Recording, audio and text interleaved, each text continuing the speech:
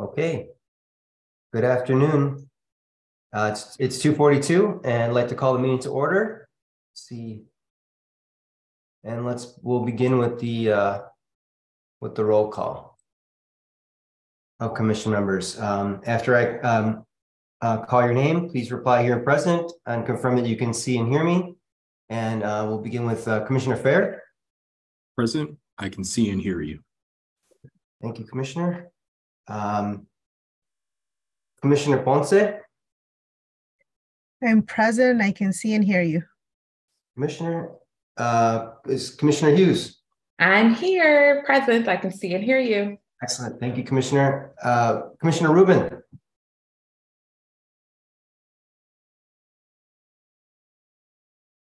We'll come back to him. Commissioner Rubin? I see he's there. We'll come back to him. Okay. Before I begin with the details regarding the virtual format of this meeting, um, just, I want to share with you that starting next month, with next month's meeting, um, on Thursday, June eighth, twenty twenty-three, permit review committee meetings will be reverting to the in-person format. Meetings will be held in City Hall, one twenty-one North LaSalle.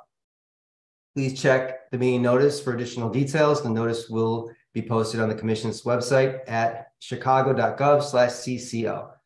And we look forward to seeing you there. And this is the last statement for maybe. In 2020, Governor Pritzker signed Public Act 101 0640, making certain amendments to the Open Meetings Act so that we, along with other boards and commissions, can continue to host virtual meetings during the COVID-19 public health emergency, provided that certain conditions are met. One of those commissions, conditions is that Chairman Wong of the Commission on Chicago Landmarks determines that an in-person meeting of the Commission on Chicago Landmarks and its permit review committee are not practical or prudent. Commissioner Wong is determined to uh, pursuant to section seven E two of the Open Meetings Act that an in-person this Commission on Chicago Landmarks and its permit review committee is not practical or prudent. He is also determined pursuant to section seven E five that because of the disaster as declared by the governor, it is infeasible for at least one member of the Commission on Chicago Landmarks or its chief administrative officer or its chief legal officer to be physically present at the meeting place for in for either meeting as much as there is no physical meeting place pursuant to a resolution adopted by the Commission on Chicago Landmarks on, on June fourth, twenty twenty.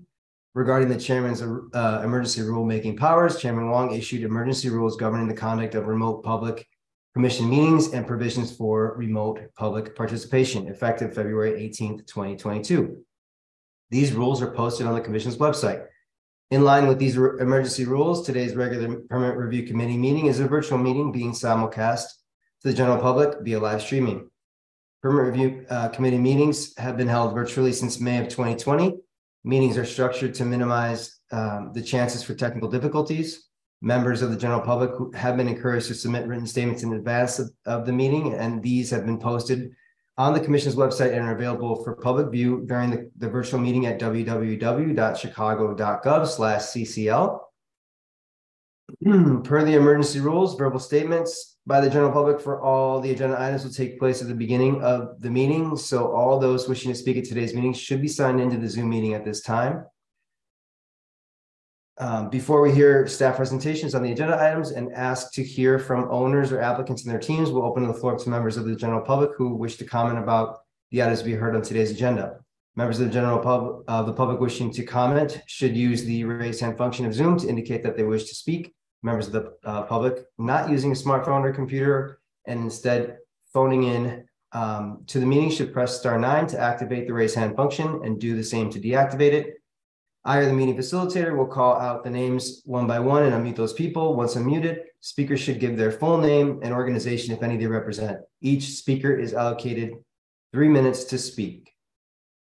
Once all members of the public wishing to make a comment have been given the opportunity to do so, we will go through the agenda. I would ask that owners and applicants and their representatives, as well as aldermen, wait to speak until after staff presentations have been made on their agenda item.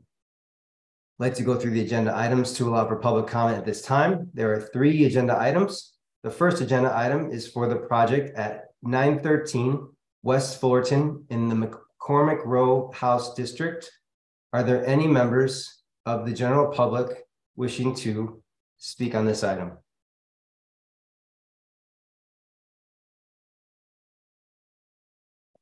Seeing none. Um, the second item on the agenda is for the project at forty-seven fifty-three North Broadway, the former Sheridan Bank and Trust Building. Are there any members of the general public wishing to speak on this item? I see one. Um, Mr. Ward Miller. Uh, Can you hear me, uh, Mr. Chairman? Yes, we can. Yes, Ward Miller, um, Executive Director, uh, excuse me, the Richard, Richard H. Driehaus Executive Director of Preservation Chicago. Uh, I just want to mention on the former Sheridan uh, Bank and Trust Company at 4753 North Broadway, that we've been very supportive of the landmark designation of the building, the district around it, um, over 40 buildings, I think 49 is the exact number um, of the Uptown Square District. And we're very supportive of, of all the uh, improvements to date uh, on the building. But uh, we are concerned about uh, the signage being proposed. I'm sure that Landmark staff is uh, using their standards and guidelines on this, but just wanted to uh, emphasize that we are so aware of big signage on some of our buildings throughout the city um, and uh, some some signage that becomes a little overwhelming at times, and wanted to uh, uh, state that we very much support the commission, the permit review committee, and the city of Chicago staff in their recommendations for what's appropriate for this uh, building. Again, we realize that signage is really important uh, to all of our buildings and businesses in Chicago, and especially those located in landmark buildings. Uh, but wanted to again um, suggest that uh, the staff recommendation be accepted uh, for this amazing uh, cornerstone building in the heart of the Uptown Square District on Chicago's north side. Thank you so much. Thank you so much. Um, I don't see any other members of the general public uh, wishing to speak on this item. We'll move to the third item on the agenda, which is the project uh, at uh, 10324 South Longwood in the Longwood Drive District. Are there any members of the general public wishing to speak on this item? Um, seeing none, um, I believe that's all the members of the general public who have indicated that they wish to speak on agenda items, and therefore this concludes the public comment portion of the meeting. And we will now go through the agenda, which will start with the approval of the minutes from our previous meeting, the regular meeting of April 13th, uh, 2023. Um, and I'd like to request a motion uh, to approve the minutes um, of, of the April 13th meeting. Do we have a motion? So moved, Commissioner Fair. Commissioner Fair has made a motion. Do we have a second? Second, Commissioner Hughes. Commissioner Hughes has made a second, and then we'll do the roll call. Um, Commissioner Ponce? Yes. Ponce is a yes, and uh, Commissioner Rubin? Yes. Mr. Rubin is a yes, and I'm a yes, and the motion carries unanimously, and the minutes will be posted on the commission's website. Um, thank you. And we will move to our first project, which is nine thirteen West Fullerton, the forty-third Ward, Alderman Knudsen, McCormick Row House District, proposed construction of new one-story side addition. Um, and I believe Emily uh, Barton has a presentation. Yes, thank you, Chairman. Um, so the subject property here is a three-story end unit of the row of six attached units along the west edge of the district. The owner is proposing a small new side addition. The proposed one-story frame addition is located near the rear of the building, projecting approximately five foot five inches past the west elevation. The addition will be set back approximately 40 feet from the front facade and 51 feet from the front property line. It's proposed to be one story in height um, a 20 foot long section of the west exterior wall and a 13 foot section of the south exterior wall will be demolished in order to connect the addition to the interior of the rest of the building. The side addition is rectangular in shape with a shallowly sloped copper standing seam roof. It features a brick-clad foundation and lower level with wood-framed first floor, largely composed of double-hung aluminum-clad wood windows proposed to complement the historic facade. Staff recommends that window details be provided with the permit application and that all material samples for the addition are submitted for review with the permit application. So the proposed um, side of the building is located, oh, the proposed side addition is located towards the rear of the home. And since the view from the street is partially obscured by the existing western elevation, it'll be minimally visible. It does not overwhelm or impose on the building overall due to its small scale and limited projection beyond the existing full height west elevation. The applicant has provided these visibility studies from various locations along Fullerton, um, which show that the addition is clearly a secondary smaller massing separate from the main bank of row houses. Therefore, staff recommends that the massing and material palette of the proposed additions will not adversely affect the architectural character of the building or district. Additionally, staff shall review and approve any new masonry materials, the mentioned window and cladding details and material samples with the permit application, as previously stated. Uh, the Seminary Townhouse Association issued a letter of support for this proposal, which was included in your packets, and Alderman Knudsen has no objection to the project. Um, I believe we have the architect here. Do you have any questions for him or for me? All right, thank you, Emily. Um, any questions for Emily before we hear from the architect?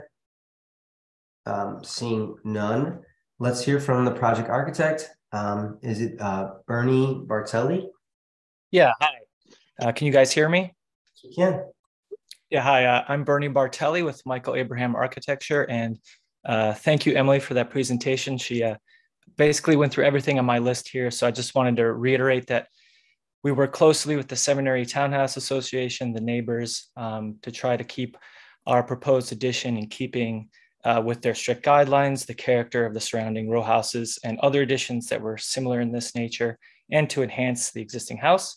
Um, and like Emily said, we received approval from the Seminary Township Townhouse Association, and um, that's really all I have uh, now. If you have any questions, I'd be happy to answer them.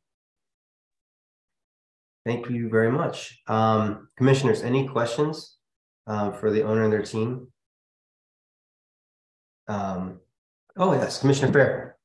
Not, not a question, just, um, you know, just kudos on some really thoughtful design. Um, you know, I think that the elevations that you all shared and just the detailing of the, um, you know, extension are just really well done. So, but really happy to see this come through in the state that it is.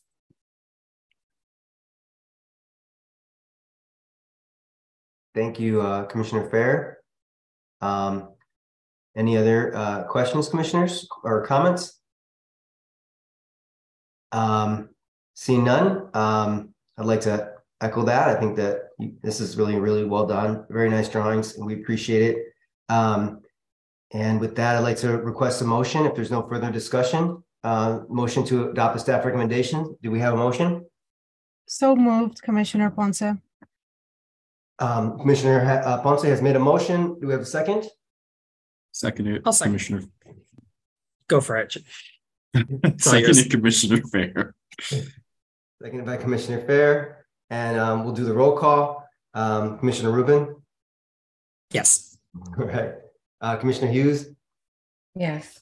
all right, and um, motion. Oh, and I'm a yes as well, and the motion carries unanimously. Um, congratulations, great work. Moving on, um, item number two, uh, forty-seven fifty-three North Broadway, the forty-sixth ward, Alderman Cappleman, former Sheridan Bank and Trust, uh, proposed reface of an existing externally illuminated seven foot ten by um, twenty-three foot three tall exterior wall sign located on the east elevation, approximately forty feet above grade. Um, and I believe uh, Tyler uh, Taylor has a presentation on this one. Yes, good afternoon. Can everyone see and hear me? Yes, we can. Okay. Uh, this proposal is for a change of face to a sign on the Sheridan Bank and Trust Building, which is an individually designated Chicago landmark and locate and located within the Uptown Square District. The building occupies the lot bounded by North Broadway to the south and west, West Lawrence the north, and North Clifton to the east. The eight-story building was designed by architects Marshall and Fox and Huszagh and Hill, and is clad in white terracotta. Since its construction in 1925, the building has been occupied by a series of banks, continuing to this day with Old National Bank. A permit application has been received to reface the existing large wall sign on the east elevation that faces North Clifton and the elevated CTA red purple line. The sign was initially permitted in 2003 under permit number 181212 before the building was designated a landmark in 2008. Due to its size and height, refacing this sign requires both a city council order and approval by the permit review committee. The city council order has already been issued. The applicant proposes to replace the face of the sign for the former bank tenant with one for the new tenant, Old National Bank. The sign seen here at right is a temporary vinyl banner installed at the location of the sign that is proposed to be permanently refaced and serves as a mock-up of the proposed sign. The existing sign face is a graphic printed on 14 separate panels that are mounted to a backing structure and tiled to create a larger graphic. The new sign face for Old National Bank consists of a graphic applied as a vinyl face to, to new aluminum panels. The existing panels will remain in place and the new panels will be mounted over them. No other changes will be made to the supporting structure, lighting, electrical components, or attachments to the building. As an existing condition that was permitted and in place prior to the landmark designation, changing the face of the sign only without removing and replacing any other part of the structure will not expand any adverse in fact, impact on the building, provided that the new signage does not significantly change the visual impact of the sign overall. The proposed sign for the new tenant is blue and yellow, matching the new bank's corporate colors. The signs for the previous bank tenants were more neutral and thus did not stand out against the light color of the building. To reduce the visual impact of the proposed sign, staff recommend that consideration be given reducing and the area taken up by the yellow and blue portion of the sign. Staff recommends approval of the proposal with these conditions. First, as proposed, only the face of the sign, consisting of the aluminum panels with vinyl applied graphics, will be replaced. All other components of the sign structure will remain in place. Second, to reduce the visual impact of the proposed sign, consideration should be given to reducing the area of the yellow and blue surface of the sign. And three, no other signage is included with this approval.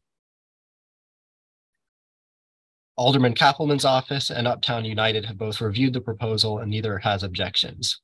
The sign contractor is here and able to answer your questions. Excellent. Um, thank you, Tyler. Um, commissioners, any questions for Tyler? Um, let's hear from the uh, sign contractor. Um, can we please hear from Frank Lambert? Hello? Hello? Hey, how are you doing? Thanks for having me.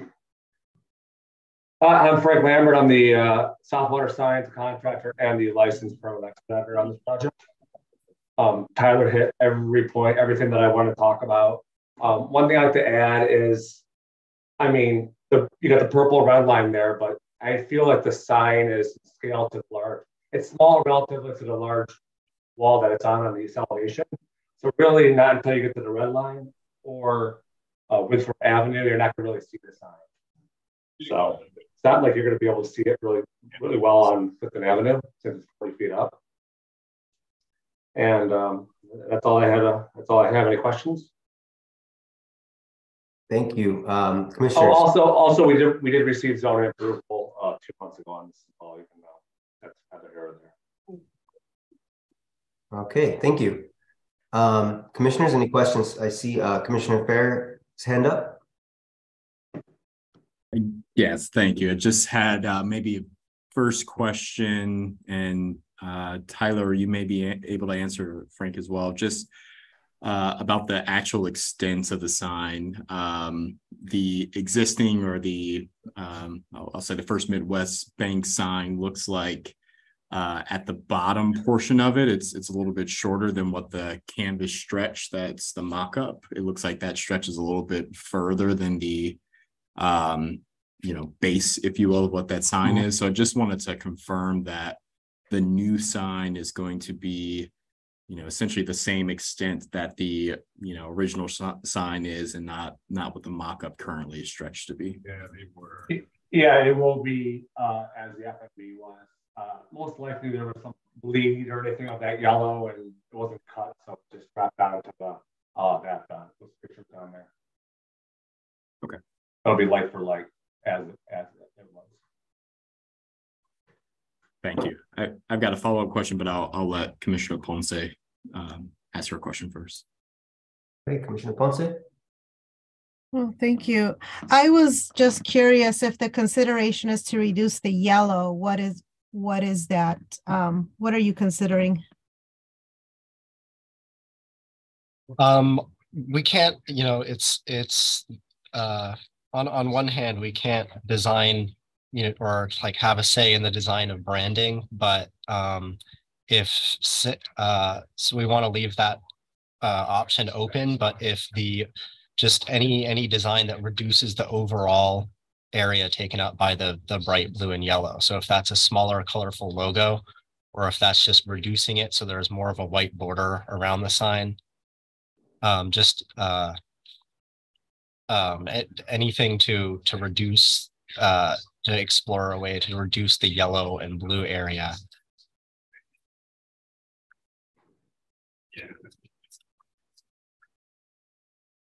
Okay, just, you're just saying reduce the yellow area, not the blue also. Um, both. Oh, both, okay. So perhaps the white, adding the white border? Is that, is it up for, um, you're going to see what the options are? Yeah. So the the blue and yellow bands uh, is the uh, the logo is the the bank's logo. Mm-hmm, Um, so it doesn't, in our view, it doesn't necessarily have to take up the entire sign because their their logo could be this same blue and yellow band but smaller on a on a white background or on a neutral color background. Okay. And so uh, we're looking for options then. Are, are new options being submitted, I guess would be my follow-up question. To review. Yeah, that, that so that's the recommendation that Okay. the um that the uh for the permanent version of this sign that uh the area of of blue and yellow is made smaller. Okay. Thank you. Thank you, Commissioner Ponce. Um, Commissioner Fair? Yeah, thank you. And um, yeah, just building upon Commissioner Ponce's line of questions and um, this is just one of those situations where kind of graphic design meets architecture and signage is always um, sometimes minutia, but it's it's really sometimes a fine art. I know I deal with this quite a bit. Um, and I'm curious if we could expand um, you know the the recommendation for Old National Bank to consider some of their secondary logos and other lockups. Um, I know just with a quick Google search, they have some that um, the blue and yellow striping is kind of a separate point. It's a bit more minimalized, and uh, I think there's some good context for it. I mean, there's um, there's just the significance of the building itself uh, that's there, and I think uh, there's there's this fine line of uh, you know where you you want to get your name out in a marketing opportunity, but you also don't want to flirt with you know uh, what may come across as a little um, you know kind of haphazardous or unintentional in terms of how you've applied your signage to this bank building which is supposed to be this kind of you know formal uh, you know kind of entity there. So I, I think there's some strong logic there i mean you look at uh, First Midwest Bank, who was there before. Um, you know, for those of you all that are familiar with the bank, I mean, they're purple, slap that everywhere. Um, and I think there's strong precedents there already that, you know, a more kind of subdued approach was appropriate. Uh, and I think that'll be something that's understood by their, uh, you know, customer base as well without sacrificing necessarily the visibility and the size of the signage. So, you know, if we could get a little bit more specific and ask that they consider, um, you know, their secondary logo lockups for this, I think that'll go go a long way. I think that's a, I think that's a, a great point. Um, where maybe it's just the, the, the letters by themselves and the, the yellow, the blue, yellow, uh, yellow, blue, yellow is kind of smaller. Agreed. So is that a, is that a, uh, a motion sort of to modify the staff recommendation sort of, uh, to include um, sort of an alternate approach rather than just reducing the yellow or it's still a version of reducing the yellow, but exploring an alternate, um, logo approach for that sign? You said it way better. Yes, I, I, I would make that motion, um, you know, which is really expanding upon, I think, um, you know, point two um, from the staff's recommendation, which is to ask, you know, Old National Bank, you know, or whomever is responsible for producing and finalizing the graphic to consider some of their, um, you know, other logo, um, you know, alternative logos and markups that are, you know, more subtle with the blue and yellow striping. And, and I did, you know, just acknowledge I saw Frank with uh, South Waters' hand was up, and, and as well as Commissioner Hughes. Um, Frank, were you trying to re respond on that? Yeah, um, I've, I've done about a hundred of these banks. To my knowledge, we have a, a linear option and uh, that option as opposed. So I think the best thing we do is we just take that stack option and we just reduce it with a white border. If that's all right. Um, instead of having all that white space and having a logo slash letters in the center of it, it'll be tiny in comparison to the size of the panel. I'm sorry, it's really hard to hear him. Oh. Frank, do you, can you re repeat yourself and just kind of speak uh, closer to the phone? Um, yes, can you hear me? It's still, it's still hard to hear you, but um, I heard you. You heard me? Okay. Um, Much better. Okay. Um, technology. Uh, yeah, there was, uh, I've done about 100 of these banks. I believe we have two logo options linear, which is a logo box and letters, and then the version you see um, that we proposed. I think the best option might be just keeping what we did, but putting like a white border around it versus just having something in the middle of the sign showing logo and letters, which will make it very small uh, in comparison to panel sizes. And I can show a mock-up of that um, as soon as possible. Thank you. Um, Commissioner Fair, does that answer your question? It's a different approach entirely. I, I, I hear you, Frank, on you know um, the verticality of this, and and you know I I don't. I, my recommendation was not to say that the alternate logo that the bank has is the right solution, but I think mm-hmm. it's it's a step in that direction. Um, so you know, I understand that the bank wants to keep its brand integrity, you know, in, in check. Um, so I, you know, I think at the crux of it, you know, what what we're looking at and most concerned about is, you know, you've got these the yellow and the blue kind of striping that is uh, really at odds with with the building itself and just the the, the nature of it. Um, so I think you know just kind of increasing the white perimeter of it is not going to necessarily take it where we're hoping it could go.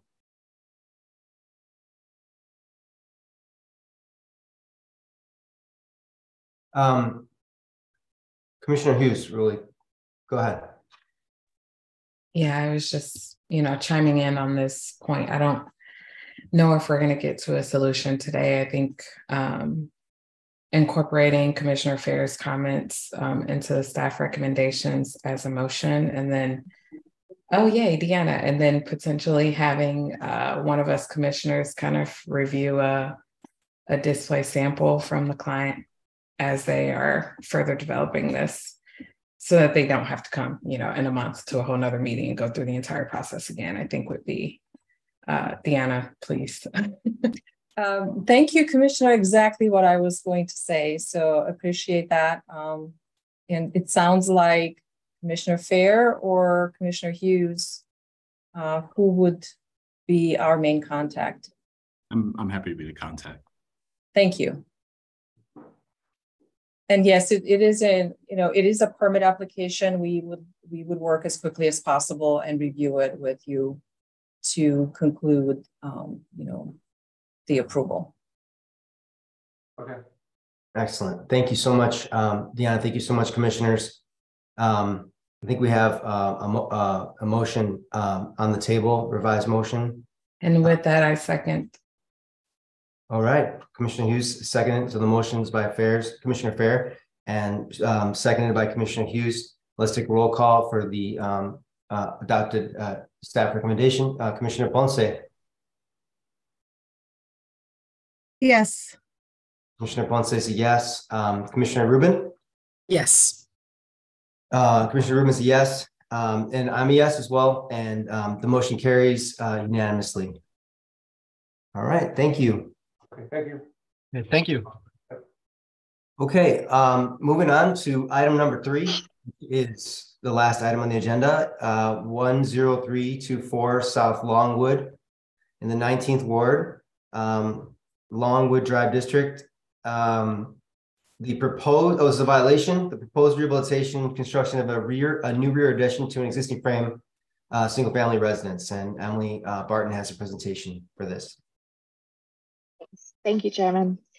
So this subject property is located mid-block along Longwood Drive in the Beverly community area. This project has been in discussion since 2020 and sometime last year, the contractor began work constructing a new visible addition to the rear and side of the historic home without approved permit drawings from the city. The Alderman's office reached out to staff in November of last year and staff filed 311 reports after being instructed by an inspector to stop work until the appropriate permits had been approved. The project architect reached out to staff to determine next steps and to redesign the proposed addition to meet commission standards and guidelines. Um, so as I mentioned, sometime last year, construction was undertaken at the house. Um, staff visited the site and took photographs of the new work. As built, the rear addition protrudes significantly from the north elevation of the original house um, and distracts from the original elaborate roofline. The large addition dwarfs the original home and is a substantial change to its um, historic massing. This design is quite visible from the wide side yards of the property and does not meet the Commission's guidelines and standards. So the current proposal before you is to remove the unpermitted work and to construct a new rear addition that better fits the scale and character of the house and neighborhood located entirely behind the existing building. Okay, so uh, the existing frame home features a quite substantial front yard with a setback of approximately 130 feet from the front property line. The project includes full interior rehab to the historic house and new construction of this addition. Work to the historic house will include select window replacement, removal of non-historic siding, and other miscellaneous repairs. So the additional space is proposed to house a new attached three-car garage, an extension of the existing kitchen, a home gym, and additional bedrooms and bathrooms on the second floor. The addition has been designed to complement the original house and will feature a new stone foundation and smooth fiber cement siding in a blue color to match existing. The new addition is proposed to be approximately 100 feet long east to west and approximately 30 feet wide south to north. Um, you can see that the addition is two stories in height and approximately 30 feet tall at the peak of the new roof. This is shorter than the existing height of the historic roof, which is closer to 36 feet tall at its highest point. Um, so while visible from the street due to the large northern side yard, the rear addition will not extend north further than the existing historic north elevation or south further than the historic south elevation and will largely just be extending the existing footprint of the home, which is shown in yellow. Um, the commission has historically approved rear additions at the staff level so long as they're no taller or wider than the existing building.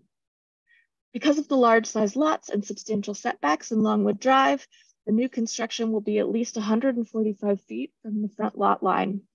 Because of the significant distance from the public rights of way and that the new construction does not project into the side yard past the north elevation of the historic house where it's most visible, um, staff recommends that the committee find the redesigned addition to be minimally visible and not an adverse effect to the building. Um, so as I had mentioned, there's some other work proposed. Sometime in the past, the original wood siding on the home was either replaced or concealed um, with aluminum or vinyl siding. The applicant's proposing to remove the non-historic siding and replace it with new wood siding. Staff recommends that upon removal of the non-historic siding, uh, we be notified and make a site visit to verify if any historic wood siding remains, to review its condition and determine if anything can be retained or repaired. If any historic details are uncovered during this time, they should be documented and used to further inform the design in the permit drawings. If the historic wood siding can be repaired, select areas of deterioration are to be replaced in kind with wood. Um, if the siding cannot be repaired, new wood clapboard siding shall be installed on the front and side elevations of the original building. Per the Commission's wood siding repair and replacement policy, Smooth face fiber cement siding may be installed on the new addition portion of the building. Many of the original windows in the, to the home are still in place and will be retained. Some windows are non-historic vinyl replacements and where proposed, these will be removed and replaced with new aluminum clad wood windows. Um, Alderman O'Shea's office has no objection to the redesign proposal and um, just this morning, the Beverly Area Planning Association issued a letter of support with the conditions listed here. Um, so I'm here if you have any questions. I believe we also have um, the project architect and potentially owner and contractor, but I see the architect for sure. Excellent. Thank you so much, Emily. Um, any questions for Emily um, before we hear from the architect, project architect or ownership team? Um, seeing none, uh, I'd like to hear from the project architect, and um, I believe it's uh, Jenna Di Maria. Yes, Gina Di Maria. Yes, it's I'm the principal of my firm. Um, so we have um, gone through. Uh, we started this permit application uh, back in 2020, I believe, um, and it. You know, we've. I originally consulted with um, Lauren Schur about the the idea of the original project was an attached garage, really, and no um, addition um, other than the garage. And so the project had started, you know, I've been trying to play catch up with the clients as far as um, they just have new ideas all the time. So it was really trying to keep up with their um, their ideas. This project grew, grew, grew, and um, so unbeknownst to me, um, they we, we secured a demo permit for the interior. Um, they did that through a an EPP. Um, I was aware of that, but obviously I didn't need to be involved in that because there weren't drawings involved, and we were still trying to figure out what we wanted to do with the design. Um, and in that in that time, the contractor started building, and um, here we are. So I have been trying to help the clients understand that we need to bring this back, go back to the original um, you know, come up with a design that complements the original design of the house and um, massing and all that. Um, and the the wife or the, um, Mrs. Elaine had you know fallen in love with the house and wanted to keep it you know very small and um, historic in nature and you know um, like most clients the um, uh, Mr. Lane had different ideas so uh, we are finally all on the same page and going to, um, you know, per the the redesign the redesign drawings, um, build this, rebuild this in a way that um, satisfies um, their needs, but still satisfies everybody else that's involved. Okay, thank you. Um, thank you for that background. Um, commissioners, any questions um, for the architect? Um, seeing none, um, any points of discussion? I, I, Yes. I Commissioner do have a question. Sorry about that. Um, I, I, uh, it, was there, was the, was the, were the people involved in this process just not aware that this was a historic property? They, Like, I'm trying to understand why we got to this point. they, they were aware that it's historic property, but, um, they understood that it, it- the overall had to, that as long as, yes, they, they were aware, they were aware. I don't think they understood that they could just kind of design without, or start building without, um, the permit approval, you know, knowing that this was a process. But to that extent, I think, I don't think they knew exactly, um, what they were getting into. Okay.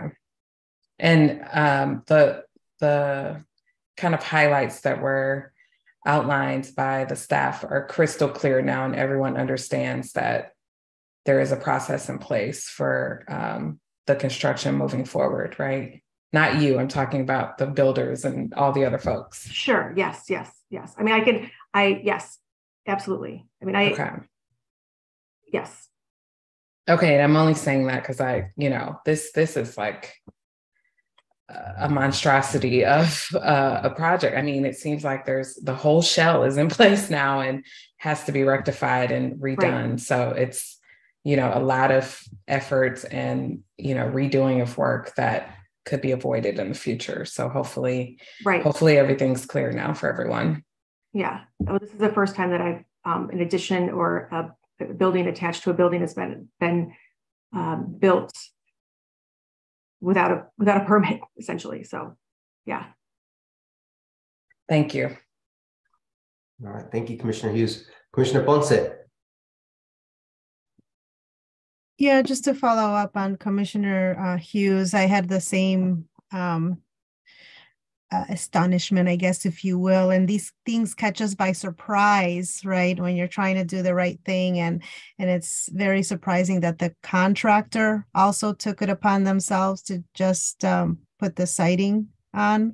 Um, and I'm just curious as as it's getting removed. Um, you know, we might not have the answer, but well, how will it be removed in order to retain what was there? To what care will it be removed? And obviously, staff will go and take a look and review it. What is that process like now? Well- because it it is a monstrosity, as Commissioner Hughes says. It's it's a big project. Um, there isn't all the existing siding is still there. The only stuff that was removed was to, was the back portion of it to add the addition. So there, so everything you see that has the plywood sheathing on it, that's new. Um, so there wasn't any, all that blue siding is still there. Um, and it has not, it has not been removed. And the per, so, and, and all that, so the existing house is, that's, that is in a combination of aluminum and vinyl siding.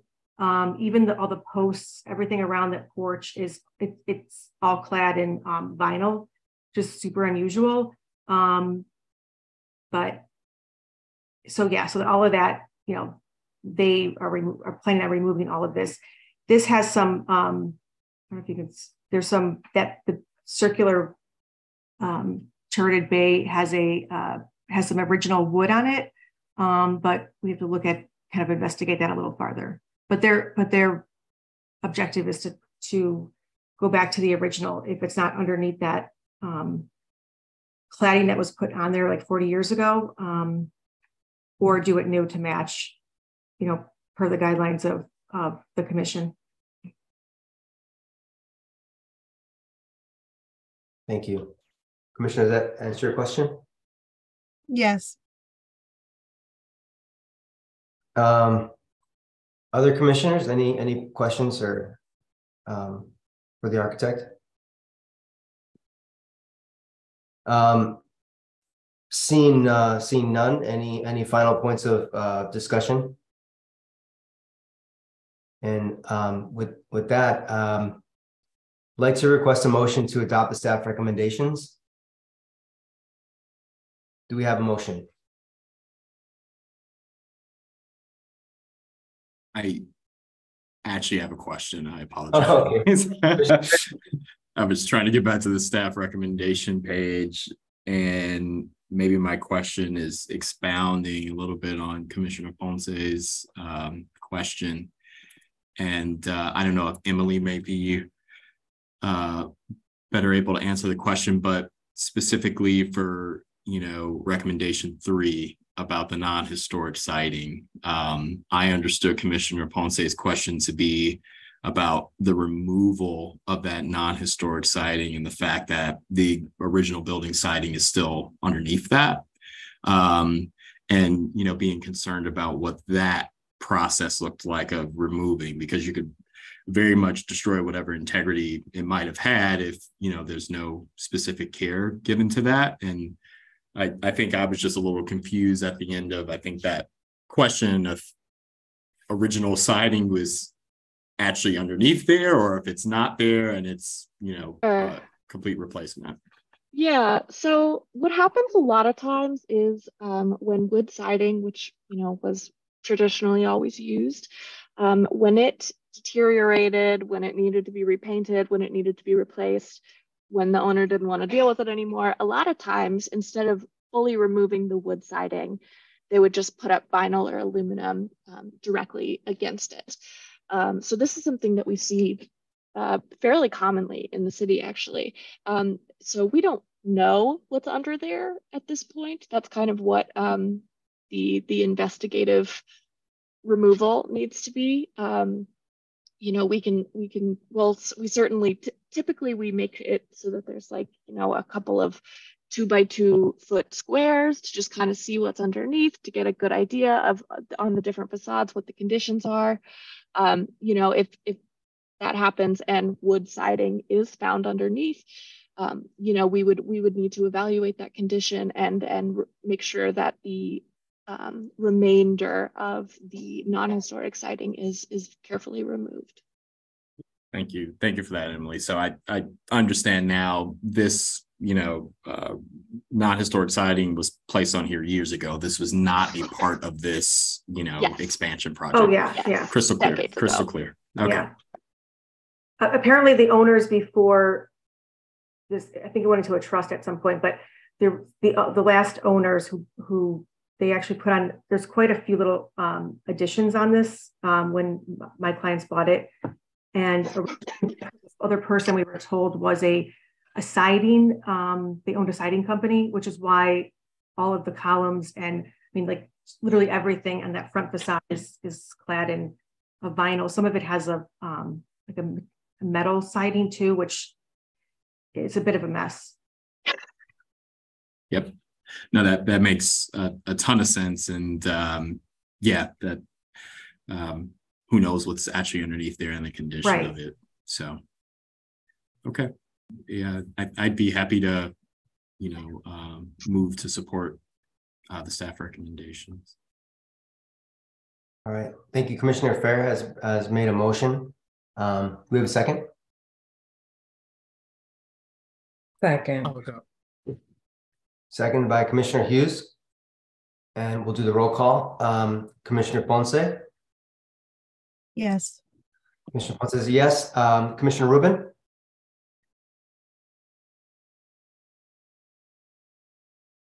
Sorry, yes. Okay. all right, thank you, Commissioner Rubin. Um, and I'm a yes as well. Um, motion carries unanimously. Um, you know, good luck. We'll be, we'll be watching Thanks. and happy at least that it's getting, you know, rectified. Sure. Yes. Thank you. Thank you, everybody. Thank you, Emily. Thank Emily. you. Um, this brings us to the end of our meeting. There being no further business, I'd like to re- request a motion to adjourn. Um, So moved. Thank you, Commissioner Hughes. Um, do we have a second? Second. Second by Commissioner Ponce and all those in favor. Aye. Aye. I. All right. Thank you so much, everybody. Thank you for your time. Thank you. Staff, thank you, everybody. Have a great rest of your day. Thank and you you. all. Thanks, everyone. Thanks, everyone. Aye.